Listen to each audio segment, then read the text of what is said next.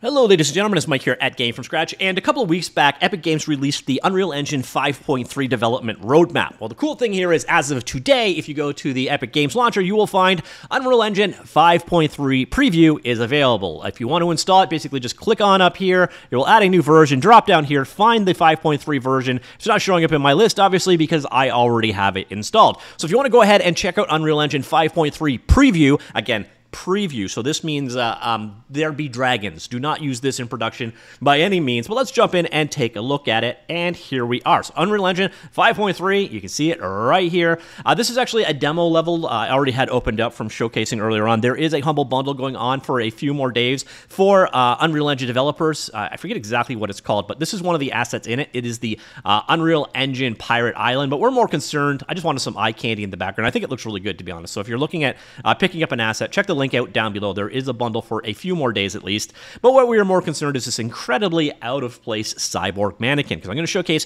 one of the new features of Unreal Engine 5.3. So let's go ahead. Uh, we will select the mannequin right here, and we will go into edit mode. Now, what you will see once you have enabled this, I'll show you how to do that in just a second, is you now have skeletal editing tools. This is one of those things with Unreal Engine. They're adding more and more content creation and modification tools with every single release. So you can actually create skeletons uh, and do your um, your weight painting, etc., all directly inside of Unreal Engine right now. So you'll here, we'll go to the skeleton mode here. You can see you can edit your skeleton. And here is our existing skeleton for this guy. I could go over here into edit mode. We can grab individual bones, for example like here, I can rotate it or I can, you know, traditional movement, I can move the bone around. So we can change out the bones right there. We can also go into the edit mode over here uh, and you've got the ability to actually create new bones as well. So in editing mode, you see you've got a couple new options. You can do uh, mirroring, orientation, etc. So if you need to make edits to your skeleton, you can now do them directly in Unreal Engine. On top of that, we've got other tools as well here. For example, uh, skin weight painting. This takes a little bit of time to actually um, warm up. So we'll give it a second. Uh, so I'm going to, I think I need to cancel my existing tools. So here, uh, weight painting, edit weights, and then you can actually paint. So here's the bone we've got affected. We can actually go ahead and paint how the weights will work, how that bone's influence will be. So you can actually do uh, your skeletal mesh weight painting and bone creation and modification directly inside of Unreal Engine 5.3 now. Now, this is an experimental feature that has a couple of meanings behind it. First off, again, there be dragons. Do not consider using this in production. And second is not necessarily going to make it into the final release. Experimental stuff is considered, again, experimental. If it doesn't work out, then it won't necessarily add it. But it is available as a plugin. Come in here, go to Scala for example. And it's this guy right here, Skeletal Mesh Editing Tools. Um, and then on top of that, you've got all your editing, I think they call it Edit Mesh Tools now uh, Mesh Tools Editor mode. There are some really, really strong modeling tools that are built into uh, Unreal Engine 5.3 right now. So that's the thing I wanted to showcase in this release. It looks good on camera at the very least, and it's really cool new functionality. So you've got the ability to do a lot of your animation work directly inside of uh, Unreal Engine. This should actually create and save you some you know round trips back to your DCC tool of choice. Uh, so let's go check out the uh, announcement and then a little bit of the roadmap. So here we are in the announcement. There was a couple of other things that were announced in this that I really wanted to demonstrate to you, but I have no clue how they worked because, uh, frankly, there's not a lot of documentation yet. So you're going to be on your own with some of this stuff. Just a, an advance warning there.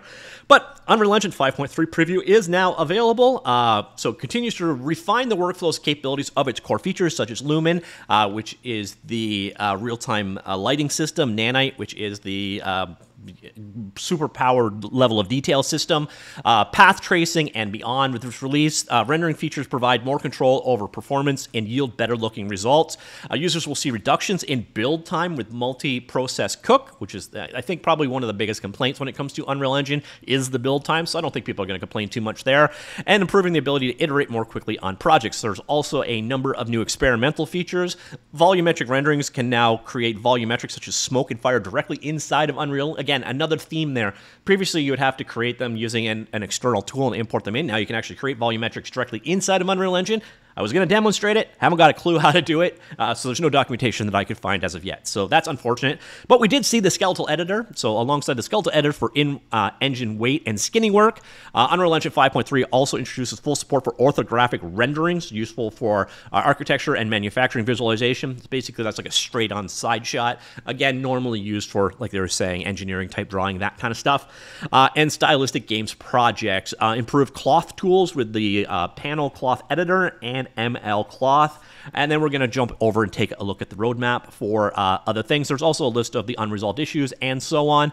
Um, so the roadmap, again, this was released a few months back. The roadmaps are always a little tricky to follow because some of the stuff has already been announced, so it's hard to explain exactly what's new in 5.3 and what is not. So I'm actually going to link this down below so you can learn more about it on your own. But they break it down by the categories of all the various different pieces that are interesting uh, or that are added in this particular release. One of the things that's actually really quite interesting is support for sparse volume textures. This is a um, kind of a compressed form. You can basically bring in a VDB file and it will automatically create a sparse volume texture for you. How you use a sparse volume texture, I don't know. Couldn't find any documentation, so I cannot demonstrate it to you. But you can now drop in a VDB file uh, and use it to create these um, sparse volume textures. So if you're doing uh, particle effects and you're using like a fluid simulation program or such, or you can bring in the VDB files. There's a bunch of free VDB files you can find on the web as well. If you want to go ahead there, Nanite obviously gets its ongoing improvements, including the experimental release of Nanite spline meshes. Um, and we got Lumen, of course, getting a variety of improvements as well. Uh, path tracing can, oops, that's not path tracing. That's path tracing. Path tracing continues to evolve. Uh, so experimentally now has initial support for tracing heterogeneous volumes such as smoke, fire, and clouds. So again, that volumetrics part is kind of intermingled across all the various different systems of Unreal Engine 5.3. Improvements to the hair system, the substrate system, which is kind of like a new uh, PBR on steroids uh, texturing system, uh, continues to get uh, improvements is still actually considered experimental. So there is a possibility that it could not actually make it to live, but I think that's very, very unlikely. Uh, but it, again, not production ready for sure, but they've got new glints, specular profiles, uh, improvements across the board, new fuzz model for high spec platforms, and so on. Uh, we saw that one in their demo where they showed off the Rivian driving around the, the paint you know, it's got gloss and fleck and a lot of things that you couldn't traditionally do with a PBR type workflow. That's where Substrate is going to come in as well. Uh, again, improvements to the hair, improvements to temporal uh, super resolution support. World building tools got improvements as well. Uh, we got procedural content generation improvements. That was the big thing in the 5.2 release. And of course, we're going to get new improvements there, including hierarchical generation, custom procedural elements, rule processing from external data, and so on. So procedural content generation, of course, continues to improve. Uh, C++ 20 is now the default version. Um, Again, that multi-process cooking should speed up build times, helps reduce the total times it takes to get cooked output from a build farm or on your local workstation by leveraging available CPU cores and memory resources. Uh, so that is considered beta in this particular release. Uh, platform improvements as well. This one was announced in 5.2, but continues to go on. We're getting support for Nanite on Apple devices. Unfortunately, it's M2 only. Apparently, they added some functionality in the M2 that wasn't in the M1 that enables Nanite functionality. But it's possible we could see an M1 port at some point in the future, but it's seeming less and less likely. Uh, again, we got the new experimental skeletal editor we showed you really quickly in action earlier on. Improvements to the machine learning deformer stuff, animation improvements as well. Things about virtual production, not really something I covered that much on the channel. Simulation improvements as well, including the chaos uh, cloth physics stuff there as well. Again, that is uh, early on and experimental.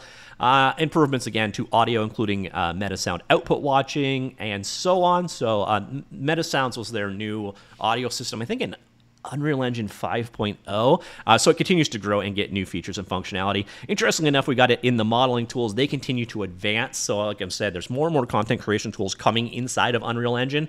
So you've got um, those are all beta level, so UV tools, modeling tools, and the workflow in general have all improved with this release. And yeah, that's kind of the nutshell of it. That's the roadmap. I will have the link down below. Some of the stuff, again, is carrying over from the 5.2 releases and earlier. So a lot of things that were previously experimental might be now considered beta or just have more refined features, etc. But definitely some nice improvements in Unreal Engine 5.3. And I think a lot of people will definitely applaud improved build times. So let me know what you think of Unreal Engine 5.3, the Unreal Engine development roadmap and the new features and functionality in the comments down below, and I will talk to you all later. Goodbye.